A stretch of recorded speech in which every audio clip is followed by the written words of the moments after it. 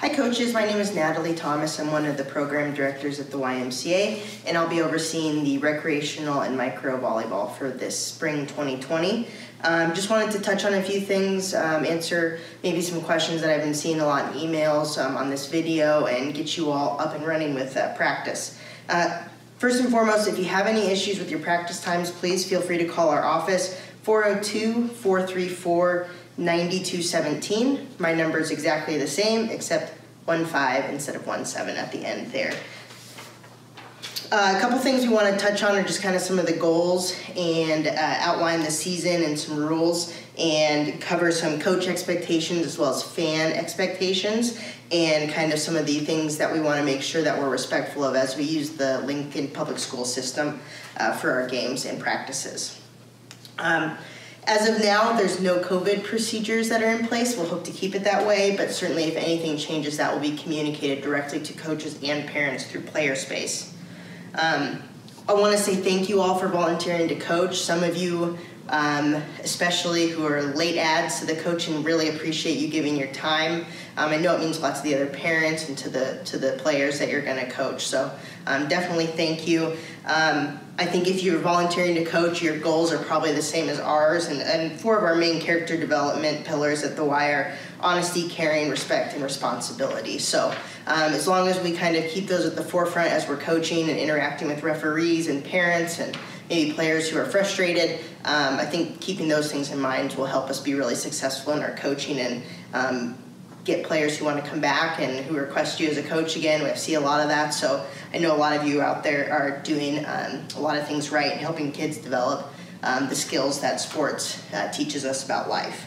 Um, we talked about youth development. We also want to encourage um, everyone in our community to get out, get active. You all are a big part of that and getting the one hour practice for the rec teams in the game and then the micro kids getting them up and moving for 50 minutes a week.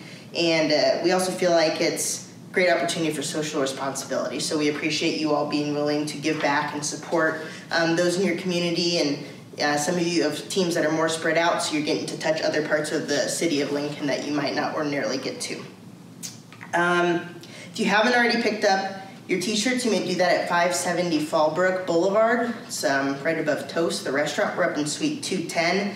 Uh, we'll have a roster in there for you, as well as your t-shirts. Um, if you can't make it to pick it up and you want to send another parent or adult, that's perfectly fine, or we can also arrange to have those um, to you all at the first game. Um, there's been some changes in rosters, so if you end up with an extra t-shirt because a player's been moved, we just ask that you bring that extra shirt uh, to the first game as well so we can find its home and make sure everybody has a t-shirt.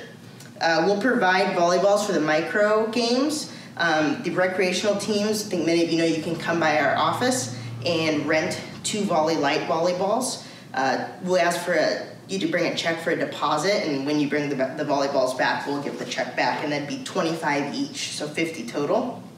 Um, all of the nets and other equipment will be available at LPS schools for practices. Some of the schools are better about setting up the nets than others, so if you're one of the first to be in the gym, um, try and get there right on time just in case the equipment's out but not set up. Um, game days, you won't need to worry about that. And we do want to remind everyone no jewelry, uh, no taped earrings, no earrings, nothing on the wrist, watches, that all needs to be removed. Um, so it's a good idea to practice that at practice. So at, at the game, it's not a huge shock. Um, and we do recommend um, knee pads for, for everyone. And in terms of what they wear, they'll have their t-shirt, but if they want to wear um, like looser fitting shorts, leggings, sweatpants, something they can move easily in, uh, we just ask that they be in something comfortable and um, of the athletic variety. Um, Many of you have already contacted teams about practice. If you're late to getting a practice time, that's okay. We just ask that you communicate that out as quickly as possible. We get a lot of parents calling in and asking us, and we're happy to answer, but it's usually easier if it comes from you. Um, if you wish to meet with the parents and, or guardians separately, I think that's a great idea. Um, I'd be really clear in your communication about kind of your expectations for practice and games and um, you know, if you want to organize snacks for after the games, that's great. I don't think you can over communicate with parents, and um, lots of folks have many, many things going on. So I know parents are appreciative for you know communication weekly, reminders for practice and games. I know it seems like too much, but I, I promise it's not enough. Um, if you get an email from me about adding a player late, um, you are not obligated to say yes. It's to your comfort level, how many players you have, especially now that you have your roster. So I just will always check with you before I add somebody um, to make sure you're okay with it. Um, for the micro will be the same gym number and time of the game. So you get 25 minutes of practice followed by a 20, 25 minute game. And we'll have all the equipment there.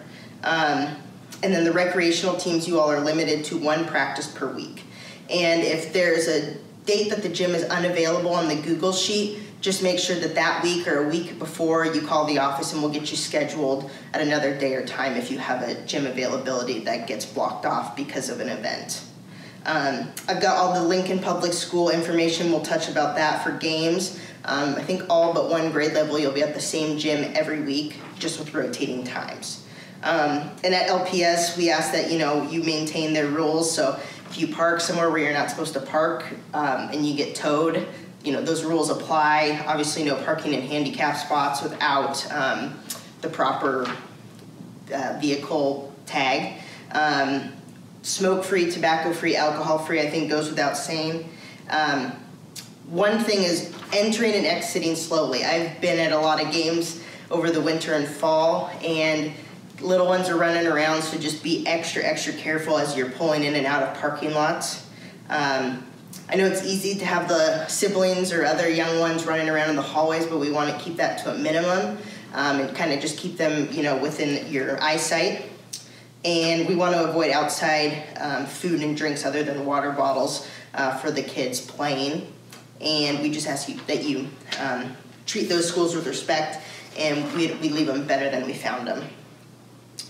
Um, for coaching, our expectations are pretty simple. Um, the team's looking to you, the parents will look to you in terms of kind of what behavior is acceptable. And, you know, we, we would ask that you be positive, you know, in your coaching and in your interactions with the referees. Many of them are high school and college age kids or just folks in the community who love you know the sports that we offer and just ask that you be um, really respectful of them and then the parents and the, the players will follow suit um, a lot of positive reinforcement um, redirection in coaching and a lot of encouragement is um, kind of the best route that we've seen and we ask that you all give players as close to equal playing time as possible. I know that you can't be 100% perfect there, and give everybody the opportunity to play the position, all the positions, or the positions they'd like to try. Um, any harassment or verbal criticism of the officials is um, not allowed. Uh, we have site supervisors on hand, so if there is an incident, um, we ask that you report that to them, or you may call our youth sports office with concerns. We ask that you know everybody if you see anything that would constitute abusive kind of behavior or language that that get reported immediately as well. And um, treating the kids on your team and the opposing teams um, you know as individuals they all respond to different coaching and, and different instruction. And obviously no profanity inappropriate jokes um, sharing anything too personal about life away from the volleyball court, and any kind of harassment in the presence of a child or their parents um, would be considered to, to be you know something that needs to be reported. Um, happens to go with the mannerisms as well, so throwing, filling around, stomping of your foot during the games. Um, we, we would ask that you not do that. Um, we'll give warnings for inappropriate behavior. Uh, we may ask those who are acting inappropriately to leave a game or ask them not to come back to the following week's games. Um, and other actions uh, may be enforced and um, taken if it's very severe and we feel as though it needs to be. Uh, this, this goes down to the fans as well. Um, we want them to just cheer for their team, encourage their team. It's okay to cheer for the other team too. Um, it's meant to be fun. Uh, we don't want any negative cheering um, towards the other team and let the coaches coach. Uh, we'll remind them of that to make sure they aren't getting conflicting coaching from you uh, and the parents. That, that can get really confusing. so fan behavior policy, diversity policy are both online at our Lincoln, um, YMCALincoln.org website. Um, we ask that fans, you know, be really respectful. If there's anything that you would consider to be discriminatory language or behavior going on on the sidelines, um, we ask that you report that immediately as well. We don't tolerate that. We want to treat everyone uh, fairly and equally, regardless of who they are, where they come from, those types of things. Uh, hopefully, weather will not be an issue with an indoor sport, but certainly if it is, it will get communicated out to you and the parents via player space.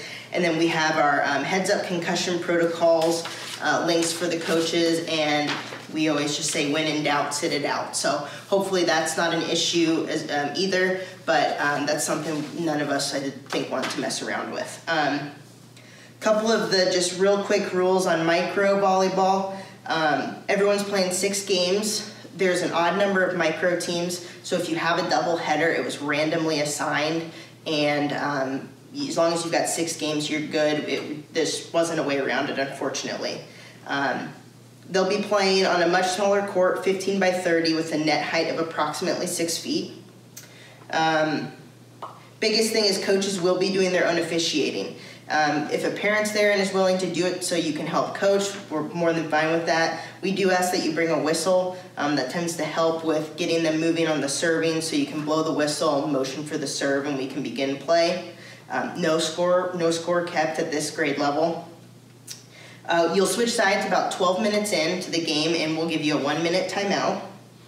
Um, want to just touch on at this grade level, you can catch the ball on the serve or during play. We would ask that this, um, we constitute this as being the first contact, and we ask that you get two. So once they catch, they have three seconds to underhand toss it to somebody who can pass it or set it um, and then it may go over the net on that second contact. Um, we ask that nobody be on the net. Um, a serve can't touch the net, but um, a pass over during play can. And we're pretty loose with kind of how we're judging hits at this level because we want them to develop their skills. So, because the coaches are officiating, you all can kind of decide amongst yourselves what you think is the best course of action for how you officiate the games. Um, that should be most of it for micro. Um, our recreational, we've got obviously some more grade levels, so some more regulations, and if you've picked up your coach's packet, you should have that. Um, I think the biggest thing here is um, each game will consist of 25 points. Uh, on the first game, you should have more than enough time, so if, it, if it's tied at 24, you will need to win by two. Um, if you're coming to the end of a game as the 50 minutes are expiring, the game ends regardless. Uh, some of you or maybe have less players than others, just the way it worked. You can play with five um, in case you're missing a few and with, you know, being out of town or other events conflicting. Um, sixth and eighth grade coaches have the option to rotate players differently than the second to fifth graders. So um, the second and fifth graders will uh, rotate into the back center position and rotate out after service rotation. And you're going to sit in your um, rotation line off to the side. Sixth and eighth grade coaches can do that, or they can request for substitutions. Um, the coaches will need to signal the official, and they must acknowledge you before the subs come in. Um, you have to choose one or the other as a sixth or eighth grade coach. So, however you choose, to uh, rotate players in for that game, you got to stick with it. Uh, we do have some serving limits that are on there. Uh, second to fifth, three straight points while serving, an automatic side out will occur, and it's five straight points when serving on sixth to eighth grade. Um, biggest things here we talked about uh, catching with the micro kids. So no catching allowed from third grade and up. Um, we do have some modifications on here for the second and third to sixth, and then seventh to eighth we'll play with no modifications. Um, other than that, sixth, second to fifth calls will be a little more liberally called um, for illegal hits, and sixth to eighth it'll be called a bit tighter um, as they're older and getting to you know get ready to maybe play high school sports. We want to prepare them a little better. Um, other than that, that's about all I have. Uh, good luck this season. Thank you all for participating, and feel free to email me, call the office um, if you have any questions or any issues arise, and uh, we'll do our best to solve those. Thank you.